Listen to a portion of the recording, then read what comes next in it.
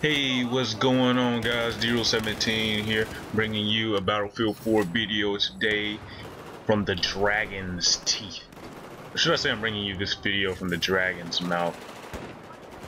Anyway, today's video is on propaganda. A little late with this video, but let's just go ahead and jump right into it. Starting off with some conquest. Just unlocked the Bulldog right there on that kill very easy assignment to do. You don't even have to try to get it. It's just killing 10 assault, 10 support, 10 recon, and uh, 10 engineers while they are on foot.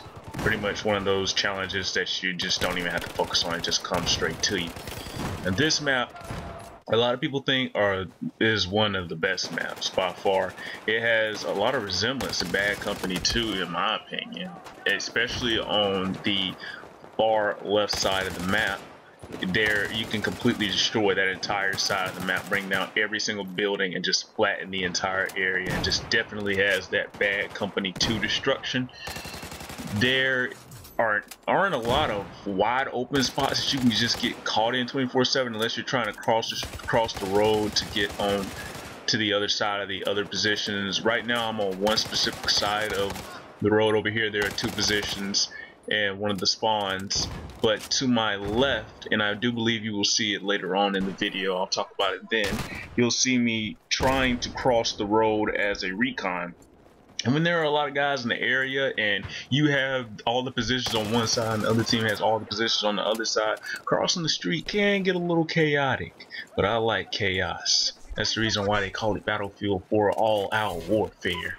Nothing, nothing is really predictable about these maps so far to me because the way you can just flank just come in from any and every direction it's just you, you really can't predict enemy movement unless you have I don't know a lot of positions and they only have one and there's only a select few places to go.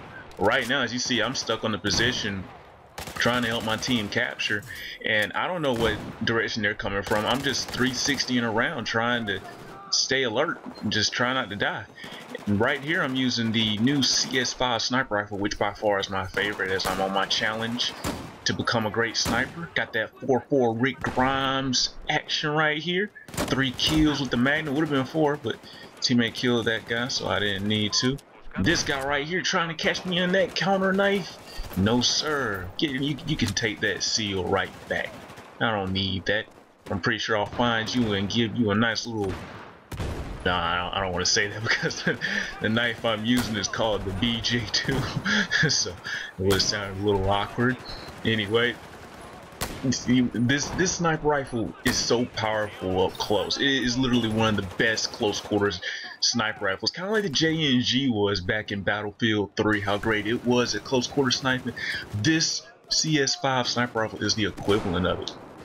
It comes with a suppressor, which I really would not recommend using it unless you're in an area like the, the, on the position that I'm in right now, uh, position C, because the range drop on that thing is so significant that the rifle itself barely has any range on it at all. It's one of the lower ranges because, like I said, it is a close quarter range sniper rifle, so it's going to need to have some drawbacks. Its drawback is it does not have that much range, but the fire rate is up there with I want to say the Scout Elite C uh, Scout Elite sniper rifles and those higher fire rate ones. I believe this is either the this is the fastest fire rate sniper rifle or it is the second fastest fire rate sniper rifle.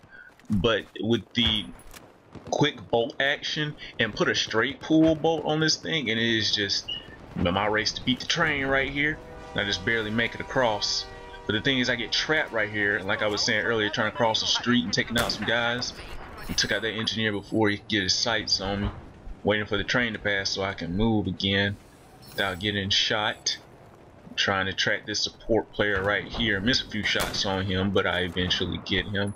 Support uh, shot placement. Like I said, the shot uh, um, bullet drop is significant. Just shooting from where he to where he is, the bullet is dropping a little bit, and I have to aim a little high at the tip of his forehead. But I still managed to stick the shot. Anyway, thanks guys for joining me on Propaganda Video today, and stay tuned for more.